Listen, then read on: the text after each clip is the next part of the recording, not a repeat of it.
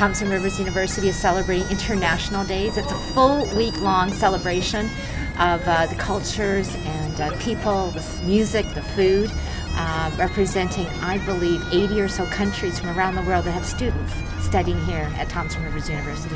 This is a great venue to celebrate internationalizations on campus, and students are happy to be here to, to cheer up for their countries. You see their present their countries, present their culture, bring their laughters and dances and literature and all the, the point of view of the whole world to the campus.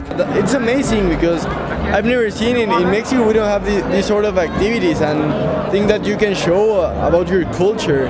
Canada is uh, is a it's Canada a multicultural country, and uh, Canada is, is, is very welcome to, to to every every international student. So I choose here to to study uh, different cultures and different knowledges.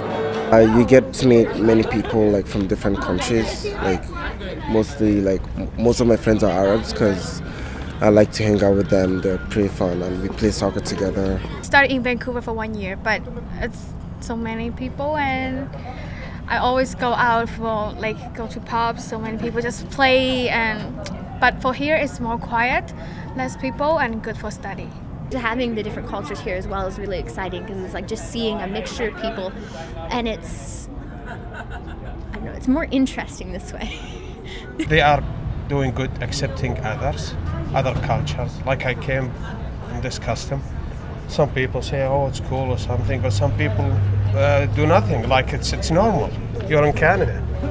We understand. It's, it's like when you treat somebody nice, you get nice results, and I, I think that shows in about over 1,500 students from 74 different countries, and that really brings uh, that shows how dedicated our staff is. And university's mandate is internationalizations, and we, we have been lucky to be in that in that position.